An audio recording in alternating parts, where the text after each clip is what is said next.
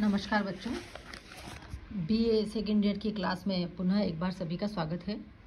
जैसा कि हम पहले पढ़ रहे थे संस्कृत साहित्य का इतिहास तो उसी के अंतर्गत आज हम यहाँ पर कालिदास के साहित्य का अध्ययन करेंगे। महाकवि कालिदास, जैसा कि पहले भी हमने देखा है कि बहुमुखी प्रतिभा के धनी थे, हम सभी जानते हैं। वो एक श्रेष्ठ महाकाव्यकार थे और एक नाटककार थे। और गीति काव्य की रचना भी उन्होंने की थी। इस प्रकार उनके व्यक्तित्व के बारे में विस्तृत चर्चा की गई है और केवल उनका गीति काव्यकार के रूप में ही मूल्यांकन नहीं किया जा सकता। उनके द्वारा विरचित बहुत सारे काव्य हैं, जैसे कि ऋतु संहार और मेघदूत की अगर हम बात करते हैं तो ऋतु संहार और मेघदूत नामक जो कृतियाँ हैं, वो संस्कृत गीति काव्य की सबसे प्राचीन उपलब्ध रचनाओं में से एक मानी गई है। ऋतु संहार जो है वो कालिदास द्वारा लिखी गई सर्वप्रथम विरचित प्रथम कृति है। अर्थात सबसे पहले जो है कालिदास ने ऋतु संहार की ही रचना की थी। इसलिए उसमें रचना कौशल संबंधी प्रौढ़त्व का अभाव है। मतलब सबसे पहली रचना जब कोई करता है तो उसमें इतना श्रेष्ठ प्रौढ़ प्रौढ़त्व नहीं होता है। और संस्कृत में ऋतु वर्णन का यही एकमात्र सांगोपांग ग्रंथ जो है मतलब जिसमें पूरी तरह से सारी ऋतुओं का वर्णन किया गया है, उस रूप में केवल ऋतु संहार उपलब्ध होता है।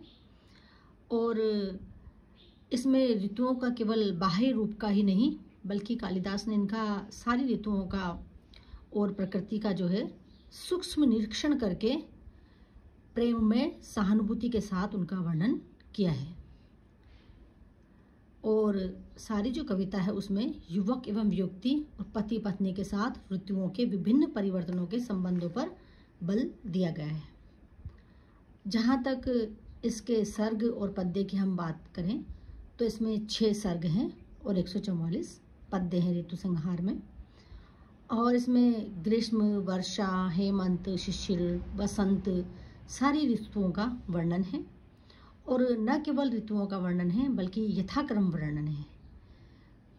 और एक के बाद दूसरी ऋतु के आगमन से, जहाँ प्रकृति के बाह्य रूप में नवीनता आती है, विचित्रता आती है, वहीं युवक युवतियों में भी विविध प्रणय किरणाएँ और श्रृंगारिक चेष्टाओं का वर्णन होता है।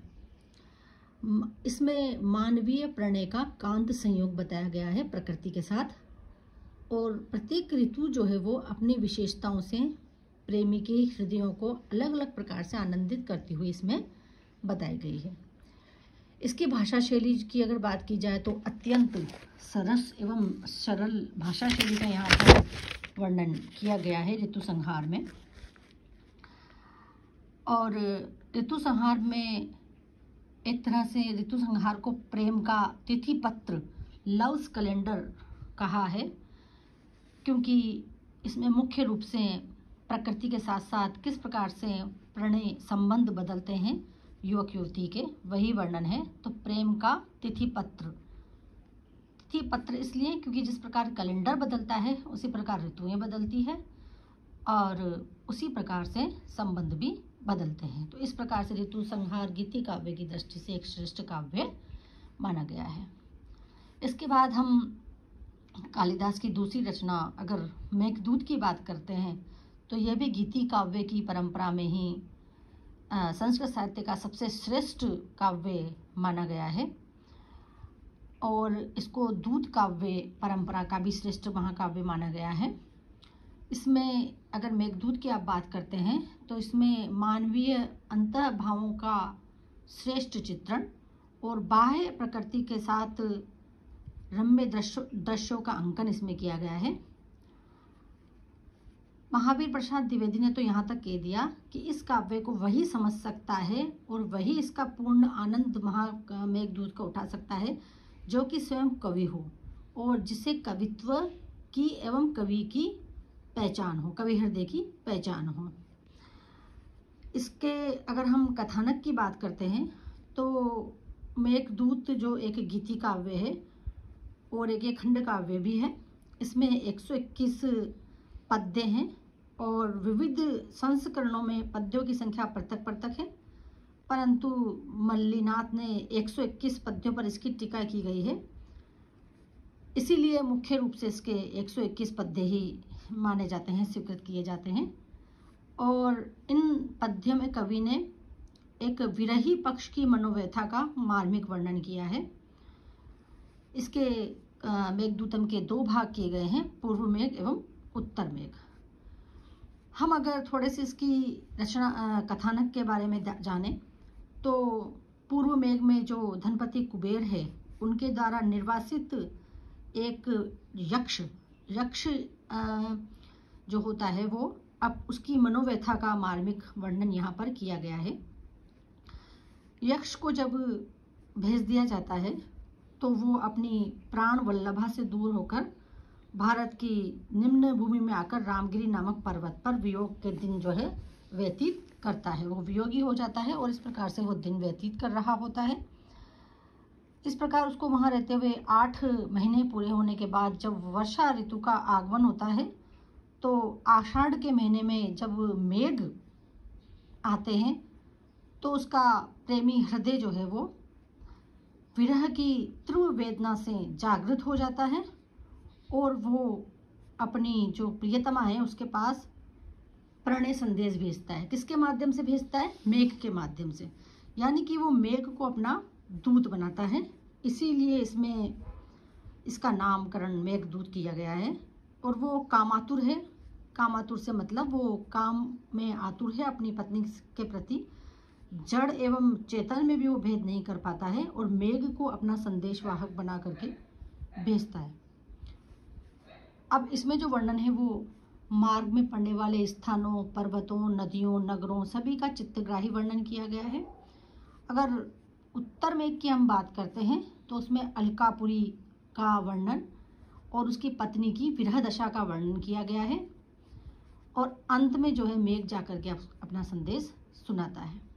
अगर आप मेघदूत के बारे में संक्षेप में बात करें तो इसके जो पूर्व मेघ है उसमें बाह्य प्रकृति का मनोरम चित्रण है और उत्तर वेग में अंत प्रकृति के अनुभव का प्रतिष्ठित अभिराम वर्णन है। यह कालिदास के प्रकृति के सूक्ष्म चित्रण और साथ ही साथ मानवीय अंत भावों के सूक्ष्म निरीक्षण का भव्य भंडार है। यह इसका कथानक है और अगर मेघदूत के काव्यात्मक सौंदर्य की बात की जाए तो ये एक अद्भुत काव्य है। सभी समीक्षकों ने लगभग इसके मुक्त कंठ से मेघदूत की प्रशंसा की है। मेघदूत में एक एक पद अपने आप में परिपूर्ण है, परिमार्जित है सुसंहत है। जिन्हें एक सूत्र में पिराव करके एक अनूठे कंठहार का रूप यहाँ पर दे दिया गया है। और उसके द्वारा लिखित जो पूर्व मेघ जो है मेघदूत का पूर्व मेघ उसमें भारतवर्ष की प्राकृतिक छटा का शोभनीय वर्णन है और काव्य प्रकृति की लीला भूमि है। प्रकृति के प्रति मनोरम दृश्य प्रस्तुत उसमें किया गया है। कवि की पैनी दृष्टि से ग्रीष्म ऋतु और किस प्रकार से ग्रीष्म ऋतु में मंद मंद बहने वाली नदी, इन सब प्रकार से बहुत ही खूबसूरत सा चित्रण यहाँ पर किया गया है। पूर्व मेघ में प्रकृति का, उत्तर मेघ में यक्ष और उसकी प्रेसी की विरह अवस्था का वर्णन किया गया है। इसमें कवि ने मानव हृदय को मार्मिक मनोहर चित्र, मानव हृदय का मार्मिक और मनोहर साथ में चित्र प्रस्तुत किया है। मेघदूत वस्तुतः विरह पीड़ित हृदय की मर्म भरी वेदना है, जिसके पद्य में प्रेम की विहलता देखने को मिलती है और साथ ही विवशता, विकलता सभी कुछ इसमें देखने को मिलता है। अगर इसकी भाषा शैली की बात की जाए बच्चों तो इसकी भाषा शैली की दृष्टि से भी ये एक अनुपम ग्रंथ माना गया है।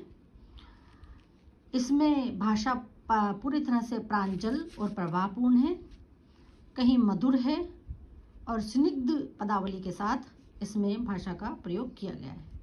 कालिदास ने भाषा में यथासंभव जहाँ जहाँ आवश्यकता पड़ी, वहाँ अलग अलग अलंकारों के माध्यम से अपने काव्य को एक खूबसूरत कंठहार बनाने में कहीं भी पीछे नहीं रहे हैं कालिदास।